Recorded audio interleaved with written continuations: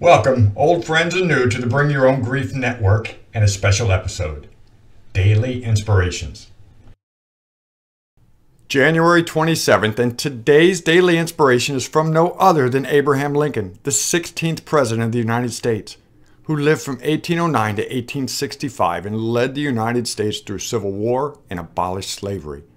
Along with so many other famous words, no stranger to grief, Lincoln inspires us in ours with the words Surely God would not have created such a being as man, with an ability to grasp the infinite, to exist only for a day. No, no, man was made for immortality. I certainly find inspiration in these words, and I hope you do as well. I'm going to share my thoughts in the discussion area below this daily inspiration. Will you do the same and share yours?